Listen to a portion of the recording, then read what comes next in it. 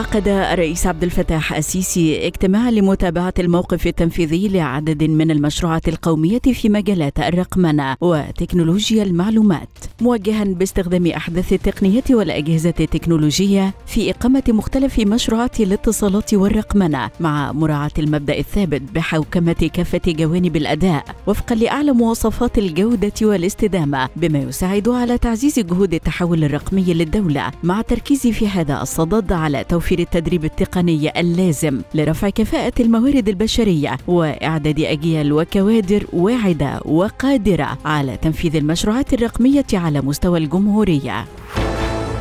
عقد رئيس الوزراء مصطفى مدبولي اجتماع الحكومة الأسبوعي لمناقشة عدد من الملفات المهمة مشيرا إلى أن هذا الأسبوع حفل بالعديد من الفعاليات المهمة وفي مقدمتها مباحثات الرئيس السيسي مع نظيره السنغالي والتي تناولت نقاطا عديدة في تعزيز العلاقات الثنائية بين البلدين. كما أكد مدبولي خلال الاجتماع ضرورة سرعة الانتهاء من مكونات منظومة النقل الجماعي الجديدة وذلك تنفيذا لتوجيهات الرئيس السيسي قالت وزيرة التخطيط هالة سعيد إن الهدف الرئيسي لجائزة مصر للتميز الحكومي يتمثل في تحفيز روح التنافس والتميز سواء على مستوى العاملين أو على مستوى المؤسسات الحكومية. مضيفة أنه سيتم فتح باب ترشح للدورة الثالثة من جائزة مصر للتميز الحكومي بدءا من إبريل القادم لجميع الجوائز المؤسسي منها والفردي.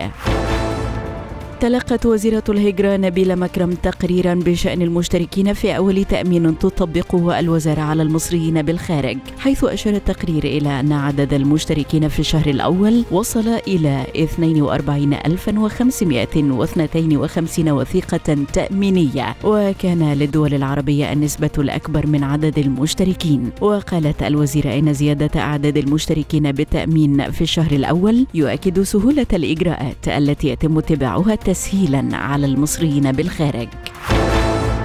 أكد وزير الإسكان عاصم الجزار استعداد الدولة المصرية لنقل خبراتها الواسعة في مجال التنمية العمرانية وتجربتها الناجحة في مختلف مجالات التنمية للأشقاء بدولة زيمبابوي. وذلك في إطار العلاقات الوطيدة بين الدولة المصرية وأشقائها بقارة إفريقيا. جاء ذلك خلال لقاء الوزير نظيره الزيمبابوي الذي أبدى إعجابه بالتجربة العمرانية التي تشهدها مصر تحت قيادة الرئيس السيسي كما أبدى رغبته في نقل الخبرات الخبرات المصرية والاستفادة منها في تنفيذ المشروعات التنموية بدولة زيمبابوي.